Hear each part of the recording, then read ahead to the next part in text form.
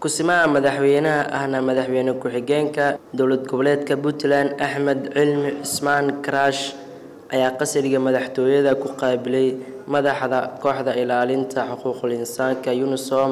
ee Soomaaliya Maris Christian Nyangi ahna wakiilka xafiiska qaramada midoobay ee xuquuqul aadanaha OCHA iyo wafdi aaminayo kulanka ayaa looga hadlay xaaladda xuquuqul aadanaha ee Puntland hirgelinta xeerka caalamiga ah ee dhowrista xuquuqda maxaabiista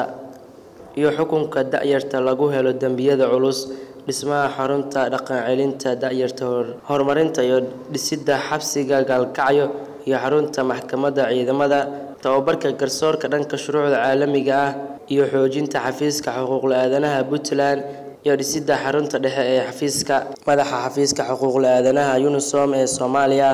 ayaa ugu mahadceliyay madaxweynaha sida ay u garab istaageen xafiiska xuquuqul aadanaha iyo shaqada wanaagsan ay qabteen. Kulanka waxaa ka qayb galay gudoomiyaha xuquuqul insaanka Puntland wasiiru dowlaha madaxtooyada agaasimaha madaxtooyada iyo saraakiil madaxtooyo. Ugu dambeyn ku-simaha madaxweynaha ahna madaxweyne ku-xigeenka Puntland ayaa ugu mahadceliyay wafdigan booqashadooda ay ku yimaadeen Puntland. Abshir Cabdi Abshiraysi warbaahinta City